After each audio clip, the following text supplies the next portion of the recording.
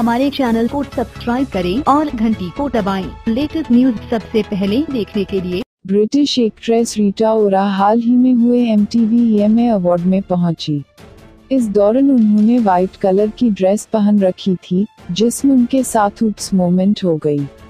दरअसल, उनकी ड्रेस में फ्रंट कट था, जिसकी वजह से उनका इंटरव्यू साफ़ नज़र आ रहा था। फिर भी वह बेझिझक तस्वीरों के लिए पोज देती रही।